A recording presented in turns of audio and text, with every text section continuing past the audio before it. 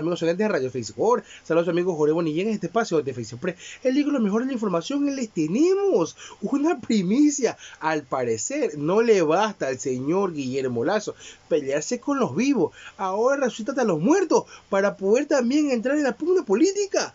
Tú me dirás, Jorge, que estás loco. No, señor, yo estoy loco, lo mejor, otro es el loco y no nos hemos dado cuenta. El señor Guillermo Lazo dice que el señor León Febres estaría avergonzado de ver los pactos correístas que tienen los señores de el señor Debo, que se han aliado para llevarse a la asamblea.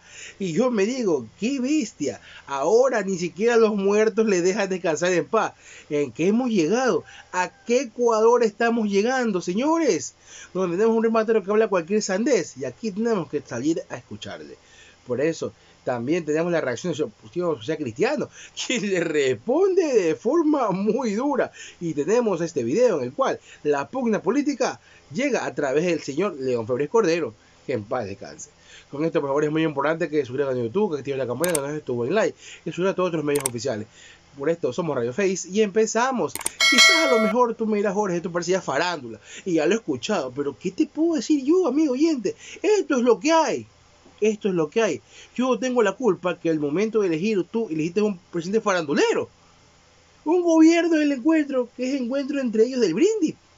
Ahora, como yo digo quién pelearse, porque se ha peleado con todo el mundo, por eso solamente le falta pelearse con el señor este, episcopal, el representante episcopal aquí en, en, Guaya, en Ecuador, eh, porque con todo el mundo ya se ha discutido el señor Lazo.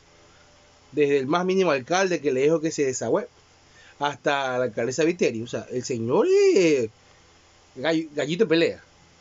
Ahora vemos que hasta resucita a los muertos. Al señor, señor Febres Cordero, que tiene ya no sé cuántos años de, fallecido, creo que más de 10. Para decir que sería avergonzado de que ver los pactos que está haciendo los señores de Ciudad Cristiano, el señor Nebo con correístas para poder tomarse el poder, lo que es la constitución. Y yo me pregunto, señor, ¿de verdad de verdad tiene que meter a los muertos en esto para que usted se sienta mejor. Con este preparamos de la cual recogemos lo que vertió por el señor Lazo y tú podrás entender de lo que estoy hablando. Veamos la nota. El mandatario Guillermo Lazo asegura en su última rueda de prensa que dio con Diarios de Comercio que el señor León Febres Correo estaría decepcionado de la alianza que tiene actualmente eh, los señores con los correístas.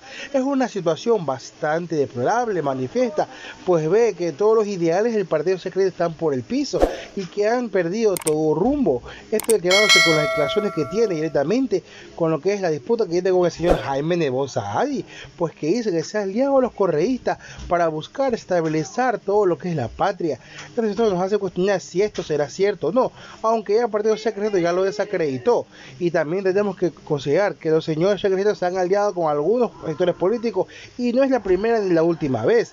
Lo único que nos parece sumamente raro es que ahora el primer mandatario tenga que tratar y citar a lo que es una persona que ya ha fallecido hace mucho tiempo para poder entrar nuevamente a la palestra. Nos preguntamos ahora con quién peleará el señor Jaime Nebot con relación a estas palabras, si tendrá eco o saldrá a declarar, porque hasta ahora no lo ha hecho.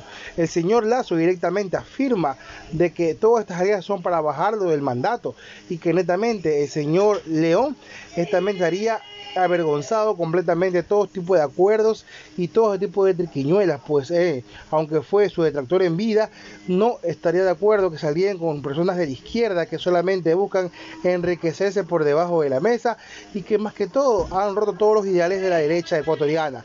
Es lo que afirmó el señor Guillermo Lazo y es las declaraciones que han puesto de cabeza en los últimos días a lo que tiene que ver la opinión pública, pues vemos que ya el señor Lazo ya no encuentra con quién pelearse en vida y ahora incluso busca resucitar a los muertos para poder hacer polémica y tener opositores políticos a quien tener una disputa digna y en este caso tiene que salir de estas sus palabras. Aquí es simple.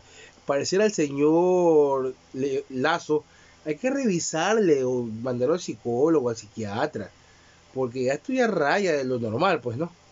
Que nombre a un expresidente que ya falleció hace tiempo entonces, ya preocupa, ya preocupa y preocupa bastante.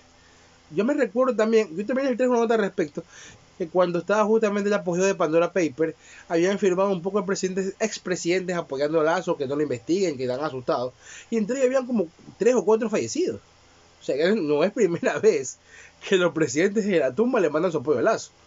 En este caso no es su apoyo, que el señor lo revive para, en sus palabras, para, para hacer una pugna política. Y eso es lo que disgusta.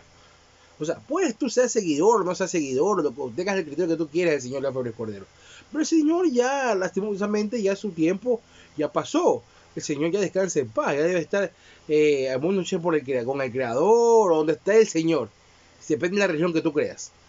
Eh, lo importante aquí es tener que resolver los problemas de los vivos, señor Lazo, no de los muertos. Eso, déjeselo al creador, déjeselo a la entidad divina que usted crea.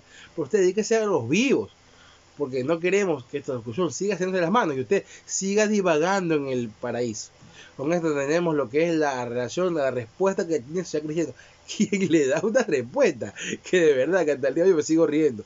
Dice que el señor eh, Cordero debe estar revolcándose prácticamente sus palabras por ver la actitud que tiene usted y que vergonzado evidentemente de que usted eh, como social cristiano ellos lo llevarán hasta ese presidente respuestas duras ante comentarios muy fuertes. Veamos la nota a continuación por favor le doy like Veamos el... Tío soy cristiano rechaza declaraciones de Lazo. Dice que León estaría avergonzado del mismo acuerdo que llevó el presidente a la que es la casa de Carondelet. Pues este acuerdo, netamente, él no hubiera permitido, pues ellos saben que el señor en vida rechazaba todo pacto de acuerdo con el señor Lazo. Esta situación la queda enmarcada en el comunicado que han enviado y también lo reafirma el señor Almeida en las declaraciones que escucharemos a continuación. León Febres Cordero se indignaría de saber el acuerdo que tiene eh, o el aliado que tiene ahora el Partido Social Cristiano, en referencia, por supuesto, al correísmo. Eh, ¿Cómo tomas una declaración como esta?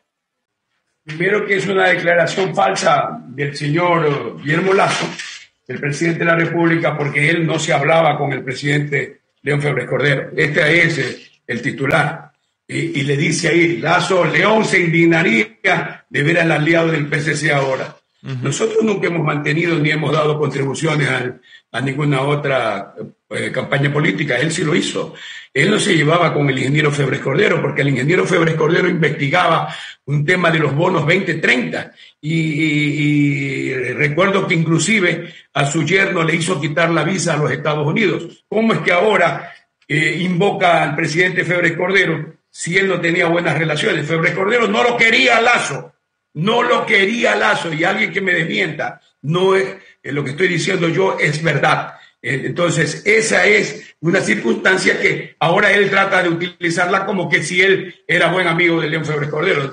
No, se llevaba con el ingeniero Febre Cordero, ni tampoco con su asesor político y yerno, mi amigo y mi querido amigo Miguel Orellana. Y en aquella época le dije, ¿y tú sí sabes a quién le estás proponiendo? A alguien que tiene por enemigo al más poderoso del Ecuador en aquella época. Hoy que descanse en paz, claro. ¿Usted fue enemigo de León? Bueno, yo de él no, él de mí sí, quizás. ¿Por qué?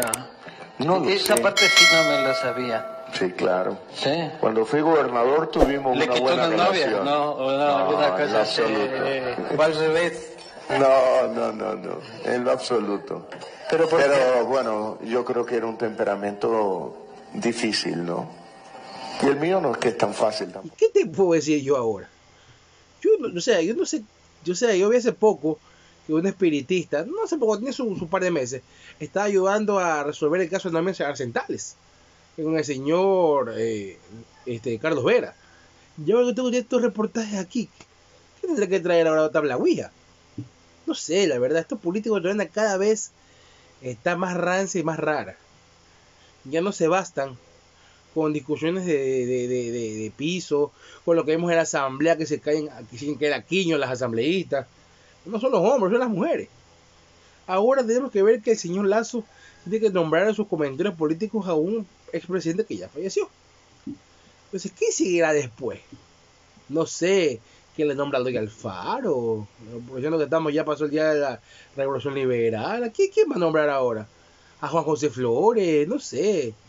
No sé, la verdad, creo que hay que, que tomar asunto de ese tema ya. Porque de verdad que mientras los vivos estamos súper que preocupados por la situación del país, el señor sigue divagando. Y eso, la verdad, la posta le puede pasar factura. por ahora, deja saber qué piensa acá comentarios sobre estos comentarios. ¿Crees que mucha gente piensa que esto es show? Y yo también creo que me sumo a eso porque no le doy otra explicación. Es eso locura. Entonces, eh, yo pienso que hasta aquí dejamos este programa. Deja tu comentario qué piensas al respecto. Suscríbete, activa la campanita estuvo en like. Y la verdad, deja saber si sigo con otros reportajes, porque a veces yo veo este tipo de digo, ¿me conecto o no? Porque de verdad son tirados los cabellos. Por ahora nos despedimos. Deja tu like, activa la campanita y tu comentario, amigo. Por favor, es muy importante para poder seguir informándote. Nos vemos, mi amigo. Chao, chao.